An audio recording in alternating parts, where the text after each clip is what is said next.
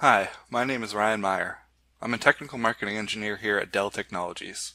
Over the course of this video, I'll be showing how PowerStore MetroNode delivers Metro active-active capabilities both during a disaster and without any impact to the data path. PowerStore MetroNode showcases the full potential of a Metro configuration, a truly disaster-resilient architecture which enables business continuity without the need for user intervention. Now before I get into the demonstration, first let me explain a little bit about what a Metro node configuration looks like. Using two sites within Metro geographical boundaries, volumes are paired up across both sites and presented as a single virtual volume to the host. Think of this virtual volume as having two legs which are identical, always have active read-write access and always syncing with each other. In the event of a failure on Site 1, the Site 2 leg has an identical copy and remains continuously available to the host. From the host perspective, there is no loss in connectivity to the volume, and there is also no data loss or recovery actions needed.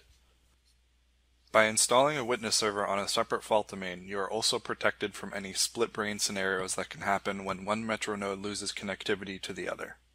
This allows failover to happen automatically and seamlessly without any user intervention. Likewise, when a site becomes available again, Metronode automatically recovers and continues syncing your data. The last thing I want to mention before we continue is that Metronode has zero performance impact on your storage. Because we are truly active-active, there is no hidden cost or overhead like you would have with a pseudo Metro or active-passive configurations. With Metronode, you are getting the full potential of each storage system with nothing left waiting on standby. In a few seconds, I'll walk through provisioning a virtual volume using Ansible playbooks and continue through simulating what a disaster scenario would look like from an administrative point of view. Before we begin, let's briefly review what our Metronode environment looks like. On the left side of the topology chart, we have Site 1 using a PowerStore 3000T as the underlying backend storage. This is connected through the SAN fabric to the Metronode. On the front end, we have a VMware ESX cluster hosting our virtual machines. On the right side of the topology chart, we have a very similar configuration, except we are instead using a PowerStore 1000X as the underlying backend storage. That's right, Metronode works seamlessly with heterogeneous storage. In fact, you can mix different storage products, like a Dell EMC Unity XT on one site and a PowerStore on the other. Now in the middle of the chart we have our virtual machine clients, which are presented with virtual volumes. Behind the scenes, the virtual volumes have a leg at each site, which is always synced, but from the host perspective, this just shows up as a single volume. Metronode also works on a granular workload selection.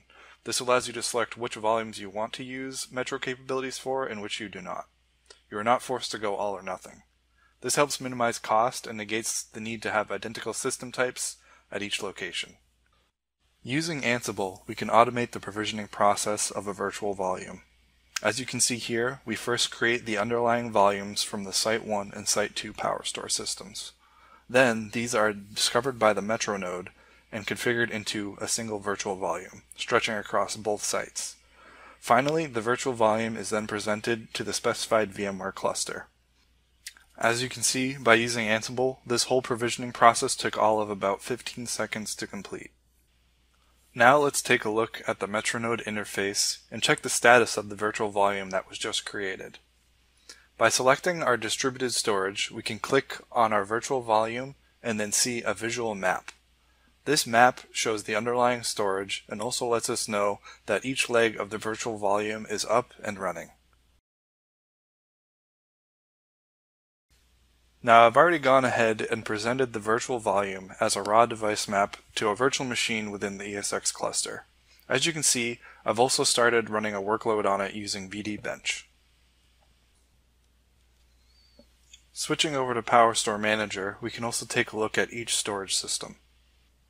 On the PowerStore 3000T, we can see that I.O. is running on the first site leg. And if we switch and look at the PowerStore 1000X, we can also see that I.O. is running on the second leg. This indicates that we have a truly active-active configuration. Now that we have a virtual volume presented and a workload running on it, let's see what happens when a natural disaster occurs. In this example, I've simulated a disaster by removing network connectivity from the PowerStore on Site 1. This could happen in many ways, such as something minor like an unexpected maintenance window, or even something as critical as a total site loss due to natural disaster. Whatever the scenario is, if we come back to our MetroNode interface, we can see that the Site1 cluster is now showing a failure. If we navigate to our virtual volume, we can also see that there is a failure on the volume itself. By looking at the map of the virtual volume, we see that we've also lost one of the underlying legs of storage.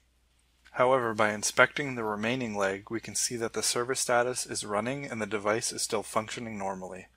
Switching to the PowerStore 3000T, which is the storage on the site that lost connectivity, we can see that the I.O. dropped to zero, as expected. Now looking at the PowerStore 1000X, which is the remaining leg of the storage, we see that I.O. is still carrying on and did not get interrupted or dropped.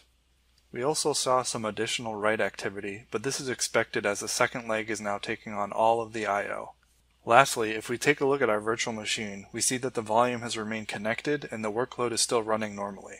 There are no errors or timeouts. Let's review what we've learned from this disaster scenario. With the PowerStore MetroNode configuration, we've witnessed a true active-active volume that was continuously available even in the event of a disaster. With this means our recovery time objective, or how long it took to recover, and our recovery point objective, or how much data was lost after recovery, are both zero because there was no loss in connectivity and no need to restore from a backup. Likewise, our decision time objective, or the time needed to make a decision to failover, is also zero, because the failover process was automatic and no user intervention was needed.